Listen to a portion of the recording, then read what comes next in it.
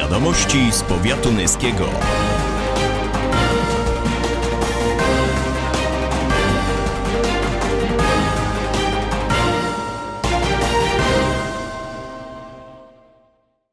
Dzisiaj obchodziliśmy rocznicę e, święta policji, to już 99. rocznica powołania policji. E, Chodzimy w roku szczególnym, bo w roku stulecia niepodległości, odzyskania niepodległości przez Polskę. Dzisiejsze uroczy- uroczystości miały charakter bardzo wyjątkowy. 84 policjantów z Komendy Powiatowej Policji w Nysie i z jednostek poległych awansowało na wyższe stopnie służbowe. E, Również 14 osób, policjanci, pracownicy cywilni, którzy się wyróżnili szczególnymi zasługami w tym roku, zostali wyróżnieni nagrodami przez y, pana starostę, za co jesteśmy bardzo wdzięczni. Y, Święto jak co roku w y, muzeum, bardzo uroczyste, bardzo podniosłe, dużo gości zaproszonych, dużo policjantów. Policja jak najbardziej zasługuje u nas na uznanie. Współpraca z policją starosty jest e, taka bardzo ścisła i intensywna, bo starosta na, na terenie powiatu odpowiada za bezpieczeństwo. Jest też w pewnych momentach sytuacjach kryzysowych koordynatorem e, tych działań, kiedy na przykład nastąpi jakieś zdarzenie na, na dwóch e, terenach, na dwóch gminach.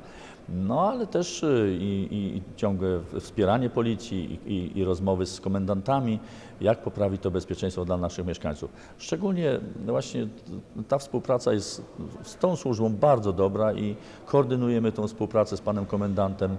Cieszę się, że możemy w jakiś sposób jako samorządowcy też pomóc policji.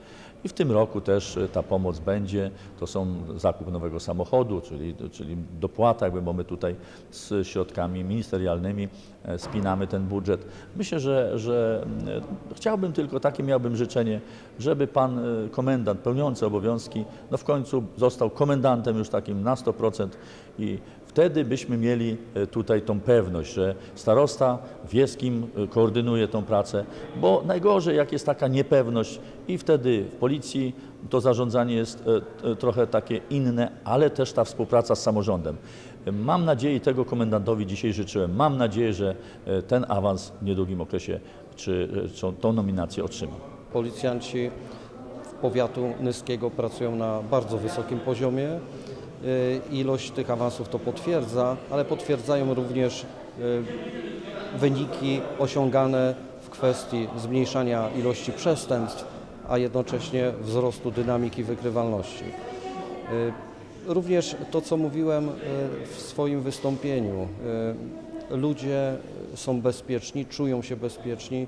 Badania społeczne wskazują na to, że te 93% społeczeństwa czuje się bezpiecznie w miejscu swojego zamieszkania, a poparciem y, 73% społeczeństwa y, y, właśnie policja się szczyci.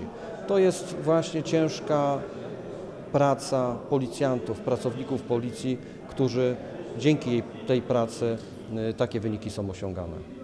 Chciałbym, żebyście Państwo nam życzyli tylu samo wyjść do służby, co, ich, co powrotów, żeby nie dochodziło do y, nieszczęść w służbie, bo jak wiadomo y, walczymy ze złem, walczymy z przestępcami, którzy nieraz dysponują bronią, no i dochodzi czasami do, trage- do tragedii. Chcemy tego uniknąć, dlatego życzymy sobie, żeby właśnie było tyle wyjść do służby, ile i powrotów.